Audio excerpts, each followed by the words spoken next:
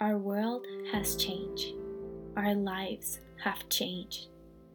Everything that we knew, everything that we trusted has been shaken. Our jobs, our education, our economy, even our simple human interactions